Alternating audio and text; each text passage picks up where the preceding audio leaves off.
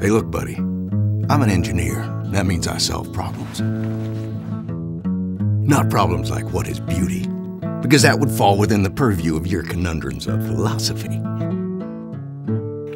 I solve practical problems. Beauty! For instance,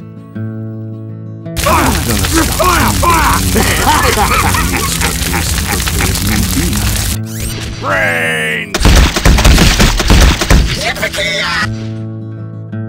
use a gun.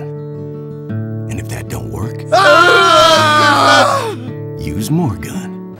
Ah!